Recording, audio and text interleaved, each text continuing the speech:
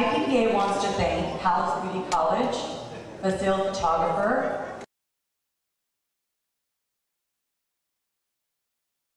It was the IPPA team with the Kismet events, Royal Kebab, Safir Pakistan, Pakistan Link. It was everybody who came in and pitched together for Pakistan. The whole point of the fashion show is to share our culture with our neighbors and then also raise money for the schools in Irvine.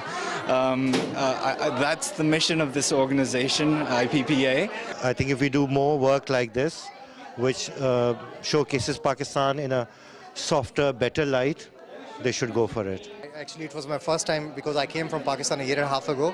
So it was my first time here uh, to participate here in, in, this event. But I uh, really enjoy with, uh, to shoot with them. Um, a lot of people, they came here, they came around me. It was fun, you know.